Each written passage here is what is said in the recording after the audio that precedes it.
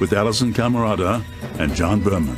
Welcome to our viewers in the United States and all around the world. This is New Day. It's Wednesday, January 2nd, 6 o'clock here in New York. Happy New Year. Happy 2019.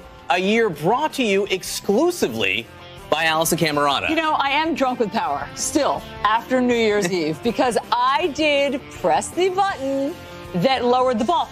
And I took it very seriously. Please drop the banner here. That's you in the white hat. I'm not letting go of that crystal ball. Okay, everybody else has let go of it. But you see, I'm afraid that it's going to fly back up if I don't keep my hand on it or maybe go somewhere. So I kept my hand on it, which all of my friends texted to say, like, wow, you really took your job seriously on New Year's Eve. You were, you were closest to the ball there? I was. I mean, I basically wrestled it from the mayor's hands. So 2019 is is brought to the world by by, you. I feel that way because had I not depressed the ball, the other big ball would not have fallen and ushered in 2019. 2019 would not happen It would not, not, have for you. Thank you, John. Thank you. That was what I was trying to tell everybody. It was such an honor. It was such a thrill. I've covered it before, Mm-hmm. and being in Times Square. I used to think, oh my God, you could never pay me to be there. Apparently, you can pay me to be there. You can pay me enough. And it is thrilling. I mean, goosebumps, all the confetti falling, all the promise of a new year. I'm feeling renewed.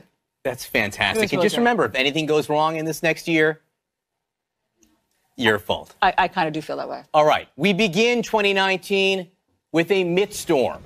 Mitt Romney, the one time Republican presidential nominee who will be sworn in as Utah's newest senator tomorrow, he came to Washington with a gift for the president, a scathing op-ed in the Washington Post in which he writes, quote, the Trump presidency made a deep descent in December.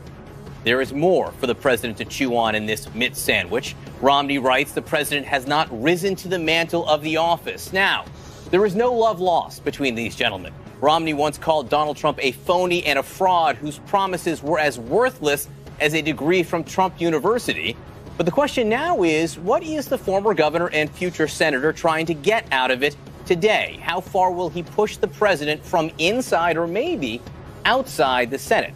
We're going to speak with people who know Mitt Romney's mind better than most in just a few moments. So that op ed comes as the government shutdown hits day 12. At this hour, President Trump and Congress have hit an impasse. But President Trump has invited congressional leaders from both parties to the White House this afternoon. We'll see if they can have a breakthrough. This will be the first visit by Democrats since the president told Nancy Pelosi and Chuck Schumer that he would be, quote, proud to shut down the government over border security. Now, tomorrow, Democrats take control of the House of Representatives. They plan to vote to reopen the government without any funding for the president's border wall. All of this amid questions about an American, a retired Marine, Paul Whelan, who is detained in Russia accused of spying.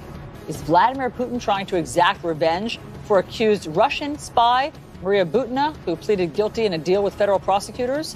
Whelan's family is speaking out. They deny the spy charge, and we will speak with his twin brother coming up on New Day. All right, joining us now, Kevin Madden, a Republican strategist who worked on Mitt Romney's presidential campaigns. Doug Heye, a Republican strategist who has worked in the House, Senate, and the Republican National Committee. And CNN political analyst David Gregory, who's worked for all of us in many capacities. Don't we work for him? uh, Kevin, I want to start with you because you've often been referred to as Mitt Romney's sixth son. Uh, we want to know, Kevin, what Mitt Romney was thinking. And as you ponder your answer to this question, let me just read you a bit more from this op ed, P111 guys in the control room.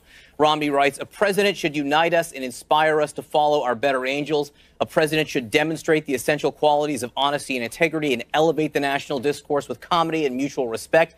And it is in the province where the incumbent's shortfall has been the most glaring. Why did Mitt Romney write this, Kevin?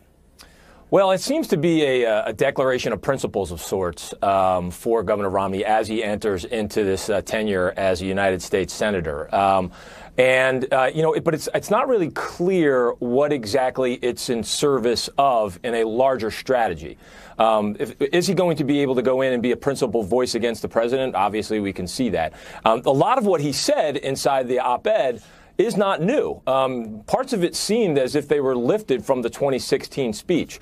But if we go back to the 2016 speech, um, it didn't really change uh, or alter the trajectory of that particular race. Uh, Trump still ended up becoming the nominee. So the question here, and I think what's still unclear, is whether or not this op-ed is in service of a larger strategy that uh, that a Senator Mitt Romney will have as he begins to try and build maybe the coalitions that can stand in opposition on some of the big issues that he talked about in the op-ed while a United States senator. Well, it's a new year.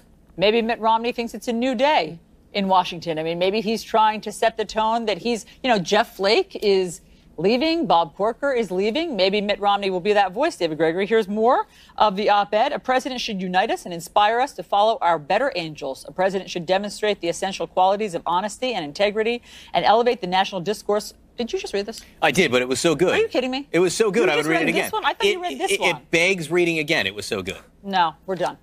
Uh, David Gregory, what do you Well- think Mitt Romney's doing? Look, it, it is a statement of principle, of conscience, of character. And Mitt Romney is different from Flake and Corker because he's sticking around.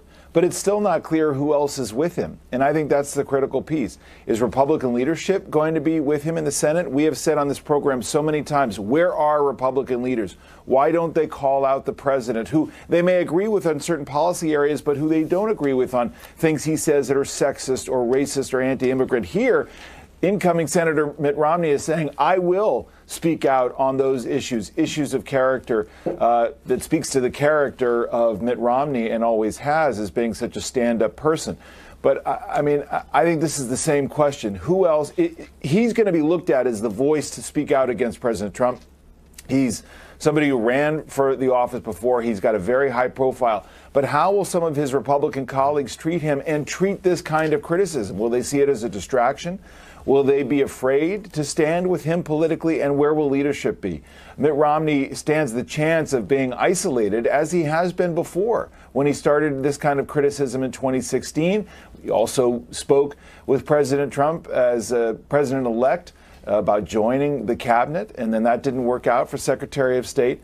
So that's that's the big question about where we move forward. But I think it's quite possible we'll see more of this criticism from from Romney moving forward. You know, Alisyn, you said he could replace Jeff Flake and Bob Corker in the Senate. Well, it didn't go well for either Jeff Flake or, or Bob Corker. Flake probably would not have run won re-election had he run. He probably would have been knocked out in a primary. Bob Corker is an open question. Mitt Romney doesn't seem concerned about that. Not at all, because Mitt Romney's in Utah. I mean, no one's knocking off Mitt Romney, one might think, in Utah ever. I mean, Mitt Romney can stay there as long as he wants. Doug Heye, correct me if I'm wrong, but on Twitter last night, after Mitt Romney published this op ed, you wrote, Thank you, Mitt Romney. Why?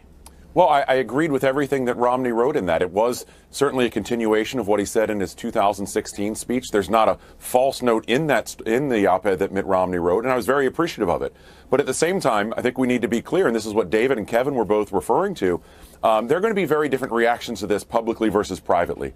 Privately, it's hard to think of a lot of Republican members who won't agree with parts or the whole op-ed um, in, in its totality publicly is going to be a very different issue. You know, Republicans are often um, asked, as, as David mentioned, when are you going to speak out? Why aren't you going to speak out louder? The reality is they don't because Republican voters overwhelmingly approve of, of, of uh, Donald Trump, and that affects how they react. So Republicans aren't really going to line up to join Mitt Romney. And at the same time, I think Romney needs to realize that for, for certain Trump critics, uh, certainly in the media, Democratic leadership, and so forth, there's nothing you can do that is enough. You can't just speak out once and, and hope to move on. Unless Mitt Romney is filing articles of impeachment, which let, us be clear, A, he can't because he's not in the House of Representatives. B, it's not clear that he would want to do so anyways. Unless you're doing that, you're not really uh, opposing Donald Trump enough. You have to always be vigilant against Donald Trump to get that credit. One op ed doesn't give you that credibility, unfortunately. Well, it got the attention of the 2020 Trump campaign manager, Brad Parscale. Uh, he said, The truth is, Mitt Romney lacked the ability to save this nation. Donald Trump has saved it. Jealousy is a drink best served warm, and Romney just proved it. So sad. I wish everyone had the courage that Donald Trump had. First of all, Kevin, I've yeah. been serving my jealousy cold for the past few years. Is that wrong? Should it be warm? Uh, I, don't, I have no idea what that statement meant, but look, I think it's just the tip of the iceberg, um, Yeah. Alisyn. We're going to see more of that. I mean, I, I, I'm- don't know if the tweet storm has started yet from the president, but you can expect that the, the president's going to come out, uh, you know, with his tweets blazing uh, on this one. And one other thing that the that that uh, uh, Senator-elect Romney mentioned in the op-ed, which is that he said he's not going to respond to every tweet or every statement. Fat chance. Uh, he has yet to take a stroll through the halls of the Senate.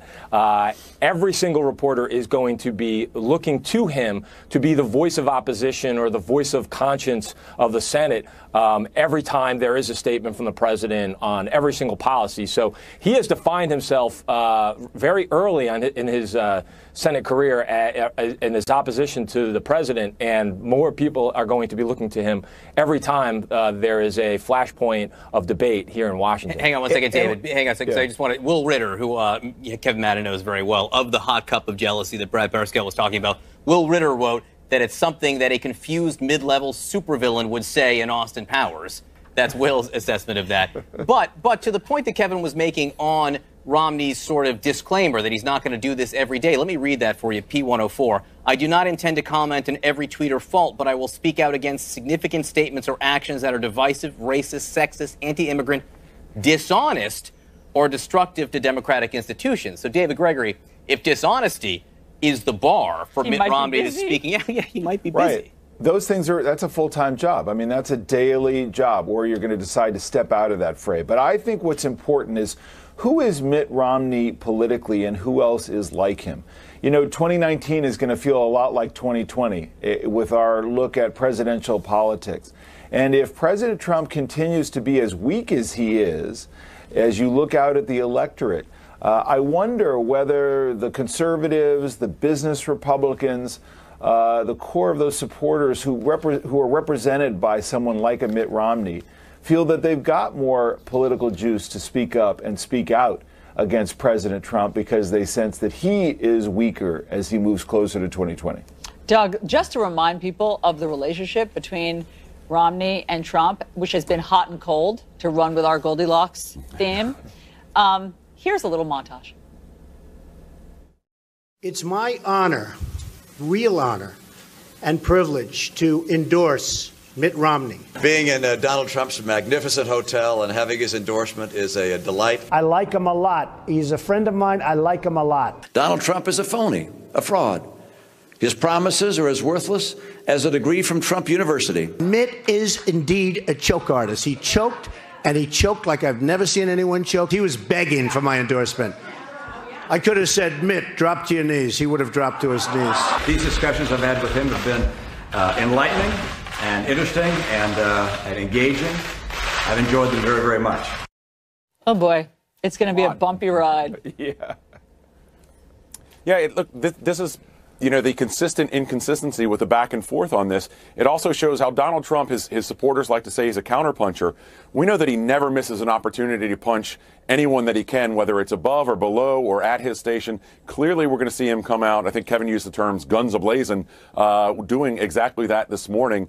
And, and, it's also going to define the meeting with um, congressional Democrats that he has, the, the, bicameral and bipartisan meeting. This is going to be about Mitt Romney as much as it is uh, the shutdown or anything else. But, you know, this, this just speaking to Mitt Romney's integrity. Uh, you can think he's a hypocrite. You can think he's all over the place. The truth is, he did speak out strongly against Trump. He got brushed back really hard in 2016. He was also willing to work with uh, President Trump and has, in the op ed, talks about those who worked with him, whether it was Kelly or Mattis or others who he had confidence in. He's not the purity test for him is not going to be can you oppose everything. He'll work with him where he can, uh, but he'll be outspoken. And the question just is is how much will he do it, and who else does he bring with him? Kevin, last word here. You said, you know, the tweet storm is a coming. How do you think the president will respond? And will this end up overshadowing the next couple of days? The president has Democrats to contend with. Might now also he have Republicans to deal with? Yeah, I, look, I, I, think he's going to come out very hard against the, the uh, against Romney. He, he, sees him as a perfect foil in many ways. I think he also feels like he has the, he'll be speaking with the voice of his of his strongest base supporters when he does. Uh, and I think there will be one of the problems, one of the challenges that now Senator-elect um, Romney is going to have is that some of his colleagues uh, and his new colleagues in the Senate will see this as a distraction that we're essentially picking a fight inside the party at a time where the shutdown requires a lot of unity. Right, David, Doug, Kevin, Mitt happens. uh, right? As, as, as we like to say. See, Kevin knows. Kevin's smiling. He's got he's got years of service in the administration there. All right. A programming note: incoming Senator Mitt Romney will give his first live interview after this scathing op-ed. He will do so on the lead with Jake Tapper at 4 p.m. Eastern a lot could transpire before then. In other words, Mitt Romney may have some reaction from the president to respond to by 4 p.m. All right. Meanwhile, we may see the first bipartisan meeting today since the government shutdown began. Will lawmakers and President Trump reach a compromise? And heart pounding video of a dramatic standoff between police and an armed man with a baby inside that car. Oof. We are now in day 12 of the federal government partial shutdown. President Trump has invited a bipartisan group of congressional leaders to the White House today for talks as Democrats take control of the House tomorrow and they plan to vote on a funding bill without any money for President Trump's border wall. So joining us to discuss what's going to happen, we have David Gregory back with us. We also have Margaret Talev, senior White House correspondent for Bloomberg News, and New York Times columnist Frank Bruni. So Margaret, um, Nancy Pelosi and Chuck Schumer may feel like Charlie Brown with Lucy pulling the ball away because they have done this before. They have gone to talk to President Trump before about things like about immigration and thought they had a deal and then left and the deal had kind of evaporated. And so it sounds like Nancy Pelosi has a new plan to bundle all of these appropriations uh, bills together to see if that can pass separate from the border funding. What do we think is going to happen today? Well, the president wants to get the leaders from both parties there on his terms. And as